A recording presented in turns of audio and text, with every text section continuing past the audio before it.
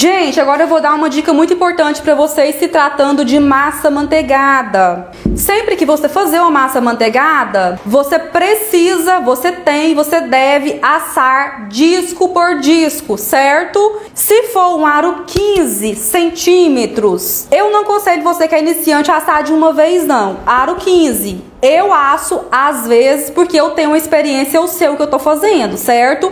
Geralmente o aro 15 centímetros eu coloco aqui e asso de uma vez. Lembrando que eu só faço isso no aro 15 centímetros. A partir do aro 20 para cima, é obrigatório assar disco por disco. Como que você vai fazer isso? Vai pegar três formas iguais, certo? É, pode ser 10 centímetros de altura ou baixa, não tem problema.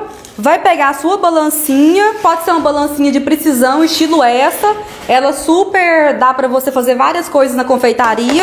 Até pesar bolos menores ela dá, viu, gente? Hoje eu vou assar em duas, tá bom? Vou fazer quatro discos de massa com essa massa. Vou assar em duas, não vou assar de uma vez não. Mas às vezes eu asso esse aro de uma vez.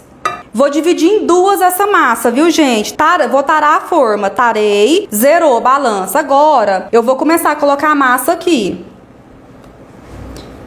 E vou colocar a mesma quantidade nas duas. Lembrando que se você for dividir em três, que eu indico para vocês, né? Tem que pesar as três. As três tem que ficar igual, tá bom? Essa aqui deu 491. Vamos, já tá tarado, né? Então, ajeitei a massa aqui. O mesmo tanto em cada, isso daqui vai dar quatro discos de massa, viu, gente?